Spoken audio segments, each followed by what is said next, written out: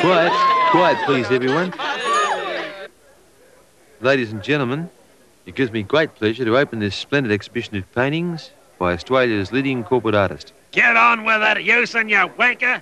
They just want to see my paintings.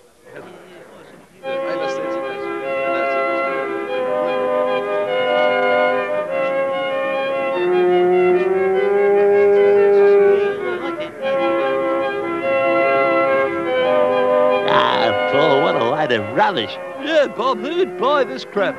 Mr. Elliott, on behalf of the banks, I want to buy the whole collection.